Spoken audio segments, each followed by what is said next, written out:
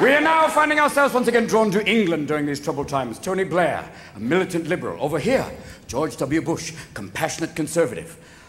I don't know what that is. Sounds kind of like a Volvo with a gun rack. But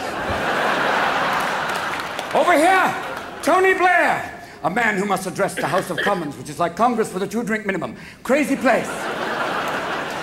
I believe my worthy opponents. Oh, fuck off! Shite! Bullocks, you bastard! Fuck you! Will someone remove Mrs. Thatcher from the chamber? There she goes.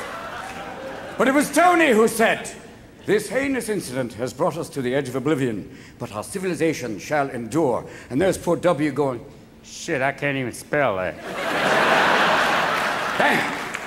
Because you look at Bush and you realize it's Bush 2.0, okay? It's a beta release. He came with certain bugs in the software, all right? He'll go, this country will not be taken hostile. Oops, delete, delete, hostage. Okay. and then you look at him and you realize he does have a short attention span. He'll be going, our economy is growing. Oh, look at the kitty. but he kind of reminds me of the guy in college with a towel going, gotcha. But you just don't want him to drive. Oh, but you realize some men are born great, some achieve greatness, some get it as a graduation gift. That's okay. Historically, you have.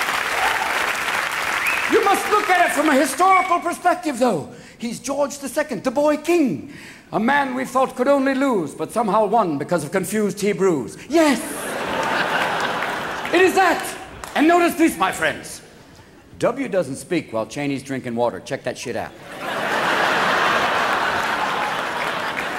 That's why, baby. When everything went down, they put W out there, but they protected Cheney.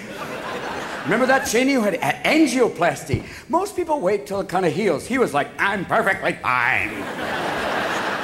I'm okay. And there's Ashcroft in the back going, Work the arms, you asshole, work the arms.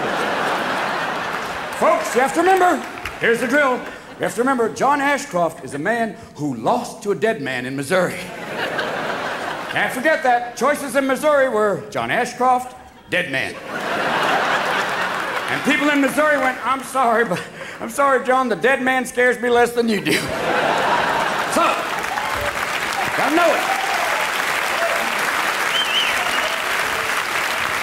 And here's the drill for me. You know, it's strange, but I know this. It doesn't scare me that W waved at Stevie Wonder. That's okay. That's okay. Stevie's only been blind since birth. And there's W going, Stevie! Even Stevie Wonder's going, is that motherfucker waving at me? God damn! Does he think I'm looking for him? God damn!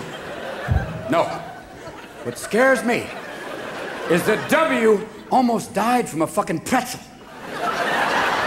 We have billions of dollars in national defense. They want billions more for national security to up the stakes, and he almost fucking goes down from snack food.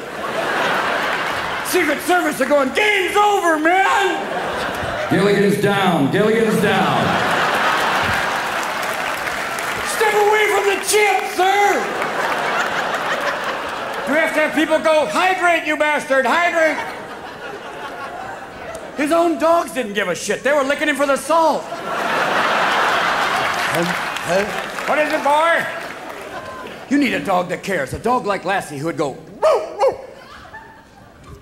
Woo, woo. What's wrong, Lassie? President swallowed something and you did the Heimlich? Woo, woo.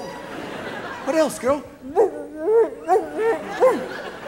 Mr. Cheney's meeting with the Enron people? Woo, woo, woo, woo. An Enron employee, Secretary of the Navy? Woo, woo, woo. What about the Harken loan? Sorry, girl, we're gonna have to put you down.